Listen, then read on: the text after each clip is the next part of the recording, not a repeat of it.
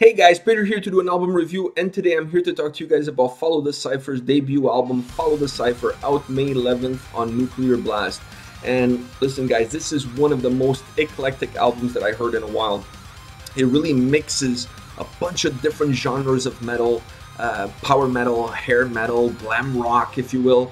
And then, if that's not enough of a mixture of different genres, they incorporate a lot of synthesizer work, almost reminiscent of bands like Alphaville and a-ha from the 80s. This album really has a, a little bit of, a, of an 80s vibe to it, of an 80s feel to it. The music, the lyrics, the delivery, everything about this album is, to me, it really is reminiscent of that time period.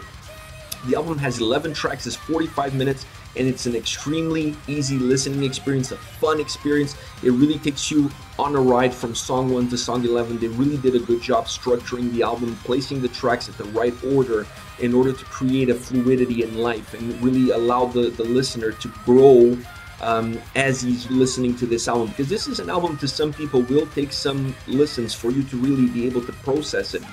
Uh, because it just adds a lot of different components. So, in, each song, brings something different to the table. Even though there are some components that are uh, that are present from song one to song eleven, each song individually is very unique in its own way. So it does create for the listener a really cool experience where you're really learning from each song as you're going along and really developing a taste for the band and a taste for the album. I, I, from those things that are constant throughout the album, uh, I have to mention three things. One is the lyrics. Uh, the whole Follow the Cipher album and band is really about uh, a world after a huge apocalypse, uh, a world of, of, war and battle. So a lot of the lyrics are representative of that. Even the one at the end, which is song number 11, Carolus Rex, which is obviously a cover from Sabaton, even that song has a little bit of, of a war in history uh, feel to it. So even that song even belongs in this album. It really feels like it fits in with the rest of the album. So that to me is a constant. You're really going to get that sort of lyric from song 1 to song 11. It's all going to have the same motif, if you will. Another constant to me, uh, more on the negative side, is the synthesizer work. I really felt that they used a little bit too much of it, but not just too much of it. Some of the melodies were very similar. I'll give you guys an example. Valkyria and Starlight are two different songs that have a very similar uh, synthesizer intro to it. Very similar, not the same, but very similar. So I think perhaps they used it a little bit too much. I I overall enjoyed it. Uh, I really it added a lot of melody, that's for sure. It added a lot, a lot of melody. It, it, added a lot of that 80s vibe. But I think they went a little bit overboard. I, I think it could have been toned down a little bit, or at least the melodies could have been slightly different so that it wouldn't give the songs a little bit of a, of a repetitive vibe to it. The other aspect that it was a constant throughout the album is Linda's vocals. Her vocals are absolutely phenomenal. She has the ability of having such an angelic voice, and at the same time, the raspiness in her voice adds a lot of darkness and despair uh, to the lyrics and to the song. So she's able with to really use her voice as an instrument in order to really bring light and happiness to a song, and at the same time be able to use that in that same song sometimes use that voice to bring darkness and agony to a song. Really, really incredible vocals to me. One of the highlights of the album. Her vocal delivery by far one of one of the highlights.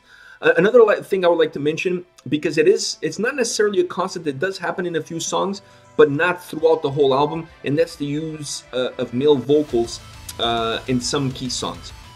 So they used it in a song like Valkyria is used throughout the song, even some harsh vocals and I really liked it uh, how they used it because they used it sporadic and they use it in certain key moments. In some songs, they use it in the chorus, and by using that backup male vocals in the chorus, it really gave thickness and heaviness to the chorus of the song, and really allowed Linda's voice, with having that that heaviness and darkness behind it, it really allowed her voice to really come out more angelic, and, and it really allowed it for the song to gain heaviness and life uh, without having to be super heavy. But adding that really added thickness, I think is the best word to describe it because it really made the, the chorus of the song a lot more compact. So the use of the male vocals in, in several of the songs of the album to me was was a genius idea because it also added a little bit of a contrast to her her vocals. It was almost like the yin and the yang.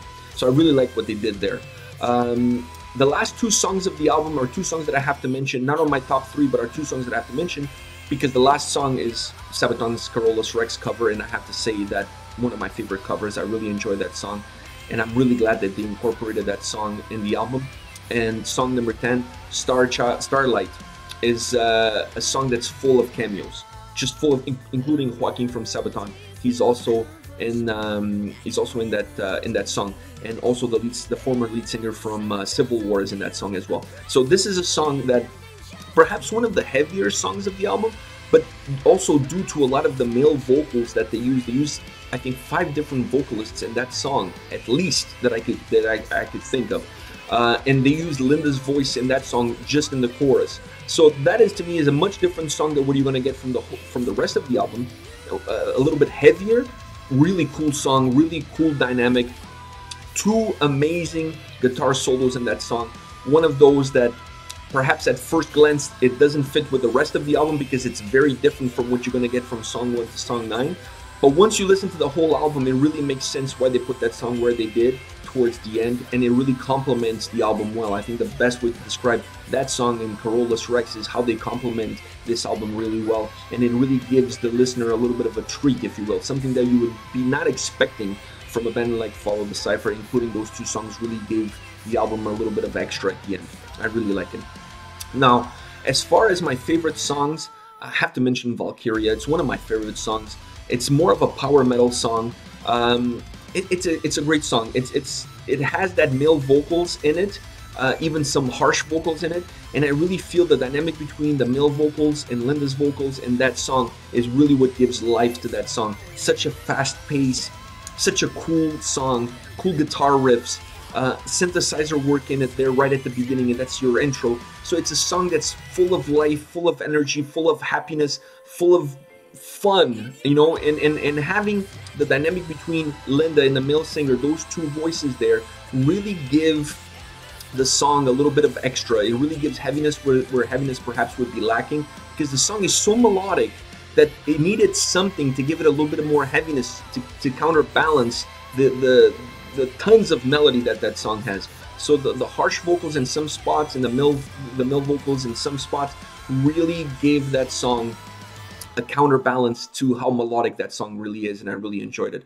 Another song that I have to mention is My Soldier, and My Soldier is the third song on the album. Valkyrie is the second song. Valkyria's outro becomes the, My Soldier's intro. Those two songs are interconnected, and I really like My Soldier. It's more of a rock ballad, metal ballad, if you will. Absolutely phenomenal song. I think this is one of those songs where Linda's vocals really comes in full essence. It's it's a song where she's able to really use her voice in the same song to create light and beauty and to create darkness and despair. With her voice, that, that little bit of raspiness into it really gives that darkness and despair that that song needs for such a beautiful ballad at, at some key points. And then her her her voice throughout the song is just absolutely angelic. This is one of those songs that the male vocals in the chorus really adds extra thickness to it. It really adds volume to the song. It really adds a little bit of heaviness because the song is not heavy at all. So those vocals really add. It, it, the song really needed something in that chorus for that chorus to be even more memorable. And that that male vocal in the chorus really adds that thickness that you really need, that heaviness that you really need. I just have to say one thing about this song. I love this song, but I think this was an opportunity missed. This is a perfect song to be a duet. This song, and, and that was I was reminded of that during that chorus because that dynamic between the two vocals in the chorus really made me believe that this was a song that would have been perfect to been been to have been a duet. It would have really been one one of those extra memorable songs if they had created this song as a duet. And I really feel that it had all the right components, all the right pieces to be an incredible duet. And I, like I said, I was reminded of that during the chorus because you really have that dynamic between the female and male vocals in the chorus. Last but not least, I Revive is one of my favorite songs as well.